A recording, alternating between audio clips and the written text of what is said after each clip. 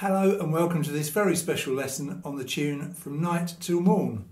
Uh, as you can see I'm wearing my full Morris kit because I'm actually on my way to a Morris dance out straight after doing this lesson so I thought it would be fun to do the lesson wearing my kit. Uh, don't expect this always, this is probably just a one-off. Yeah, this tune from Night to Morn, lovely tune. I used to play this on the uh, cigar box guitar and then on the Anglo concertina and now on the DG Melodeon. The ladies of my Morris side do a dance called Goldborn. I'm not sure if that's one they made up or it's a, a dance that lots of sides do, but anyway, the, the dance is called Goldborn.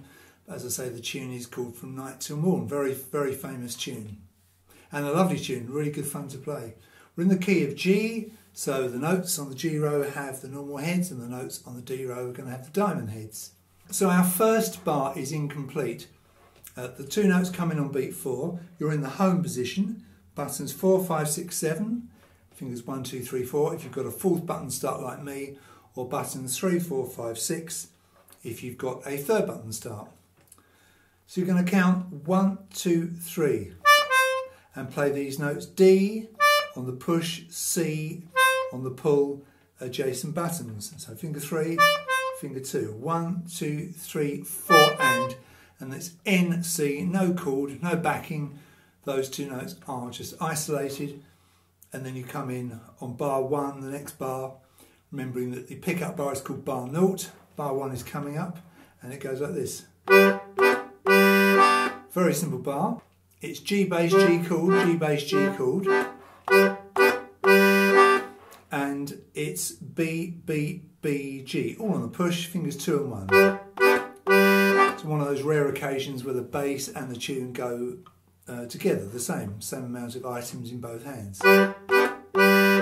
So it's...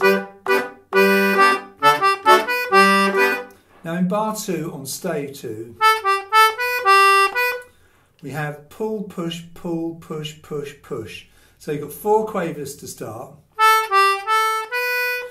Pull, push, pull, push. And you can see a couple of daggers indicating you can just ride the button, you don't have to repress. So it's A, G, A, so pull, push, pull. As I say, you can get those three notes and just one press of the button if you like, like that. And then go to the button below to get the B on the push. And then we have two crotchets, G, B. And you count that one and two and three, four. The bass is there, D bass, D chord, G bass, G chord, same buttons. Pull and then push. So basically it's a pull and then a push bar. So from the beginning, one, two, three. Whenever you've got a lot of these pushes and pulls, don't move the bellows much, a tiny amount is all you need.